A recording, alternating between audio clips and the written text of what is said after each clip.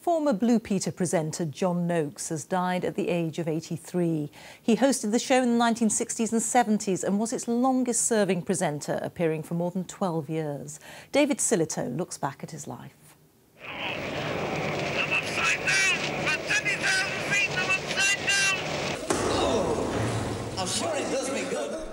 Blue Peter's had many presenters over the years, but John Noakes, the cheery, funny daredevil from Halifax, was special.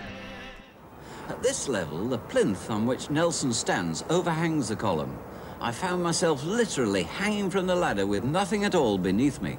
In an age with a rather relaxed attitude to health and safety, the words, and then it was my turn, led to some startling TV moments.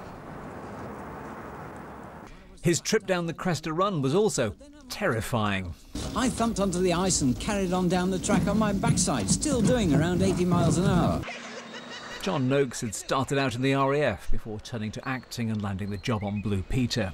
The Yorkshire accent and the willingness to do anything for a laugh stood out in a rather more formal era of children's television. I think for a lot of people, today is a very sad day. We've lost him, and he looked pretty eternal from when I was sitting as a child.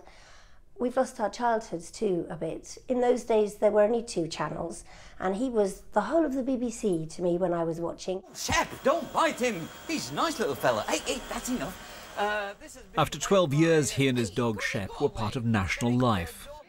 But he had tired of the risks and the workload and was happy to move on. He set off on a yacht and eventually settled in Mallorca.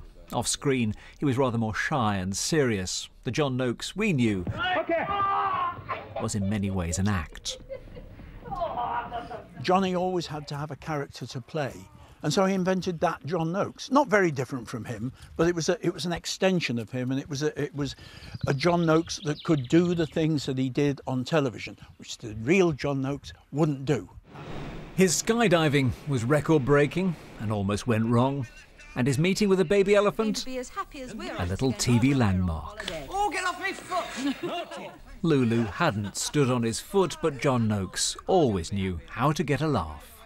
Millions of us are today saying goodbye to a much-loved part of childhood.